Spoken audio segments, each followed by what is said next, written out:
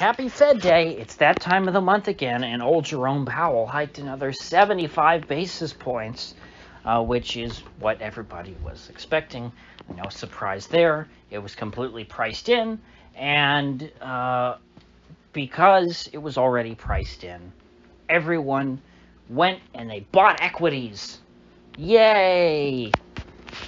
It's an example of the inverse of buy the rumor, sell the fact. Um, if there's a rumor, let's say that the Fed was going to cut rates, um, everybody would load up on stonks because they know, ooh, cutting rates is bullish for stocks. And then once the rate cut is actually announced uh, by Jerome Powell, then the market sells off. We saw a lot of this uh, in recent years during, you know, the Powell era at the Fed. But in this case, Powell was hiking rates, and everybody knew he was going to hike the same amount that he hiked last time. There was no pizzazz. There was no surprise. There was no oohs or ahs. Everybody knew, okay, he's going to hike by 75 basis points. They positioned accordingly. Uh, they sold off some stonks uh, if they if they were want to do that. And actually, I think since the last rate hike, uh, the Nasdaq was. I, I, saw somebody say Nasdaq was up 10%, and I I'm not I'm not exactly sure about the S&P, but uh, there hasn't been a ton of you know selling in uh, on net but all else equal, I assure you, people uh, were selling their stonks in anticipation of this rate hike. But then once the rate hike was announced, people could then go and buy back those stonks because, well, the rate hike's over now. So now you have nothing to worry about.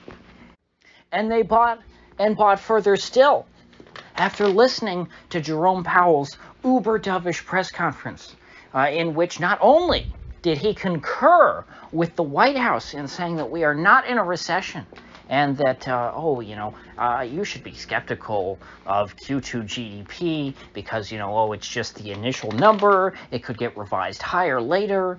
Um, you know, people put too much stock in all this. You know, the labor market's really quite strong, don't you know? Uh, I mean, look at that unemployment rate. It's really tough to find employees right now, uh, which means that the economy is doing just fine. And that is all well and good. Yes, you would think that the Fed chair saying that he thinks the economy is doing great uh, would be good for stonks. It would give, uh, you know, the equities munchers uh, better confidence. It would reassure them and say, you know what, no, we should buy these stonks. Uh, Jerome says that everything's going just fine. But considering the Fed is currently in the middle of a hiking cycle, um, Powell being bullish on the overall economy uh, could, in fact, be bearish for stonks because it would mean that he is uh, happy to continue hiking rates because he doesn't feel like that they're having a negative impact on the economy, and so he can keep hiking because, of course, inflation is still high.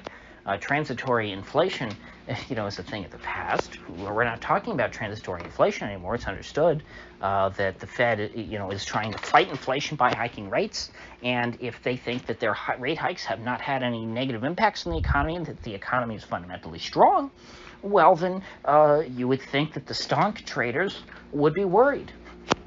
But Powell even thought about this because he did not want to ruin the good mood on Wall Street uh, he made sure to add that, uh, you know, he thought that uh, doing these big rate hikes like 75 basis points, that's not necessarily going to be uh, something that they have to do in the future.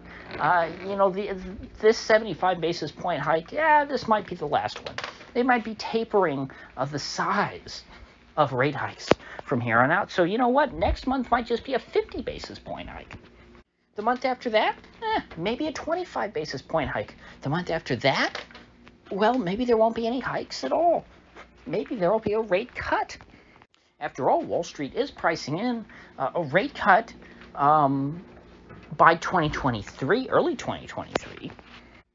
And uh, further evidence of this is that the uh, yield on the 10 year Treasury bond uh, fell today despite the Fed hiking rates by 75 basis points, which to me uh, signals that uh, Wall Street feels that we are getting closer and closer to a rate cut. that long-term growth prospects are not going to improve.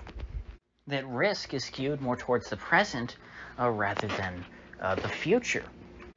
But then again, perhaps my logic doesn't quite line up because maybe I don't have the full story here because I would expect, based on everything I've said so far, that we would see stonks rising and we would see bonds falling.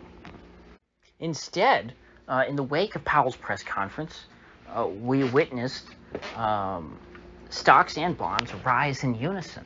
And by rise, I mean, you know, when I'm talking about bonds, of course, I'm talking about the value of the bond, not the yield. The yield falls. That's just, you know, it's a something to keep in mind if you're, you know, if you're not uh, big into the finance stuff.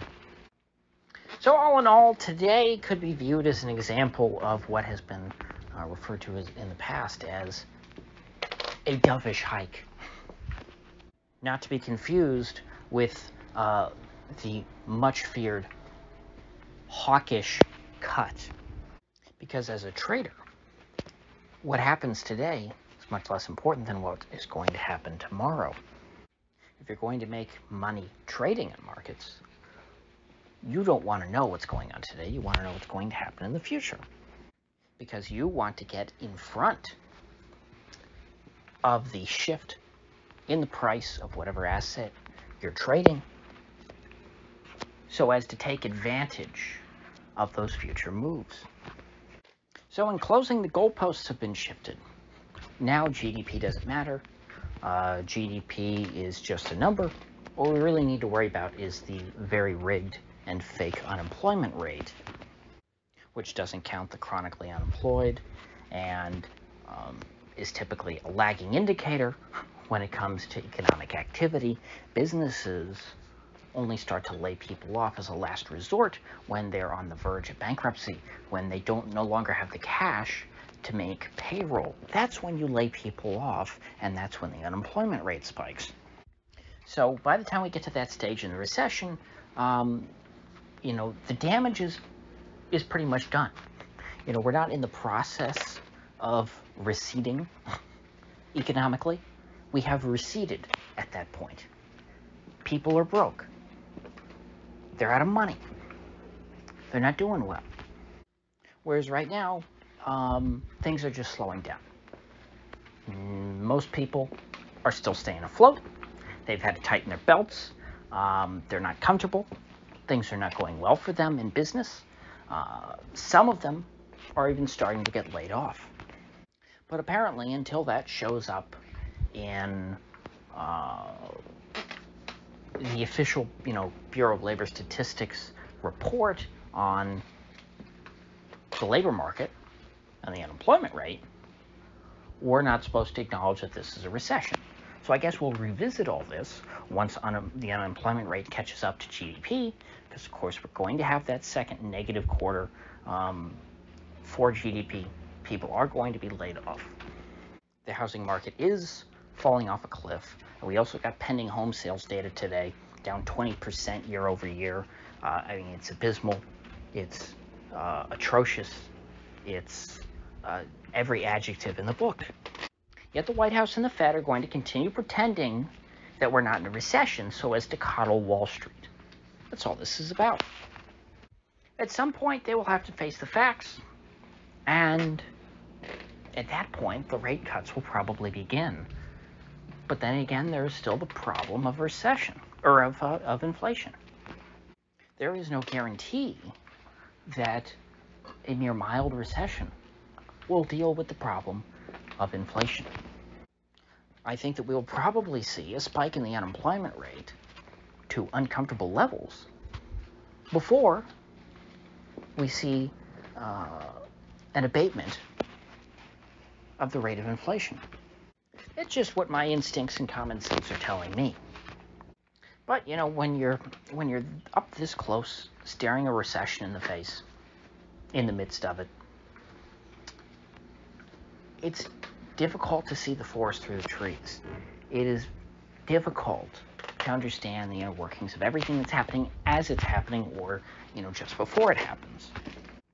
In time, all these questions will be answered and we will learn more as we continue to walk down this path. So, with that said, I will see you folks back here tomorrow.